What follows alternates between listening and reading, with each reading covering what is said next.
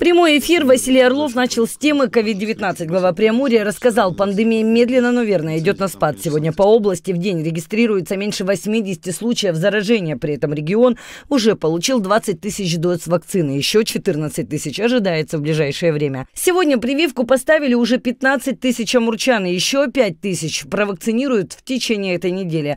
Возвращаются к работе лечебные заведения, на базе которых были развернуты ковидные госпитали.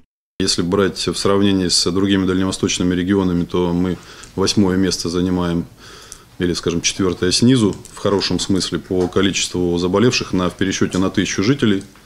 Хороший показатель.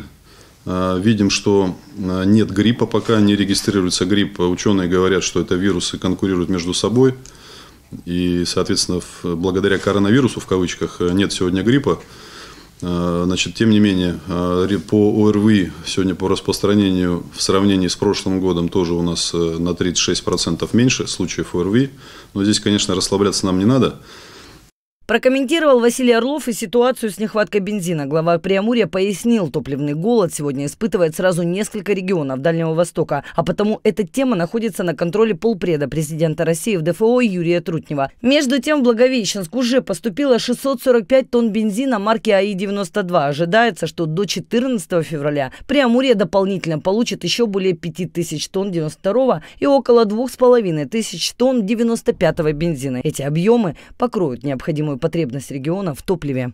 Нам пришлось обратиться через Минэнерго в Госрезерв. Нам выделено определенное количество топлива из Госрезерва, но сейчас сразу из нескольких э, источников нам топливо поступило. Это и Госрезерв, и начал работать Хабаровский завод, и поставки с западной части страны. Поэтому сегодня к вечеру дефицита быть не должно. А сегодня, признаюсь, э, с утра проехал сам, э, значит, посмотрел ситуацию на заправках. 80-й и солярка есть практически везде.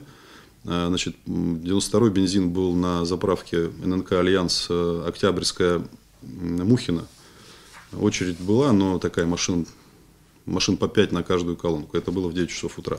В ходе онлайн-беседы амурчане поинтересовались у губернатора, почему в области высокие цены на жилье. Люди отмечали, что стоимость квадратного метра в региональной столице уже достигла 100 тысяч рублей. Значит, почему выросла цена?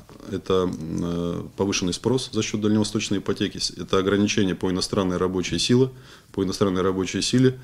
И, если вы помните, э, в России начал действовать закон по переходу на эскроу счета, что, соответственно, э, в том числе отразилось на стоимости квадратного метра. Кроме того, на прямом эфире было озвучено, что на этот год выданы разрешения для строительства 650 тысяч квадратных метров.